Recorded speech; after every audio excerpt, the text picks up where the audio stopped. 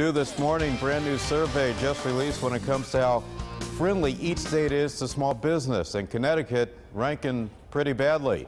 News 8's Brian Spiros joins us now with a breakdown of all the issues we're talking about. Good morning, Brian.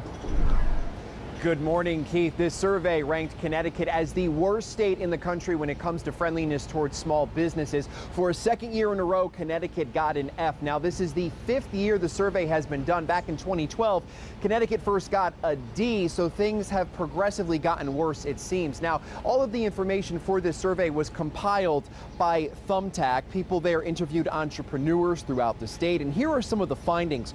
Only 23% of small business owners find zoning to be friendly. 68% of skilled professionals say state labor regulations are considered unfriendly. And when it comes to Connecticut's tax code, 32% say it is difficult. So in that category, the state got a C plus. The survey also looked at training programs and licensing. Again, overall, Connecticut got an F. Now, there's also a breakdown by city.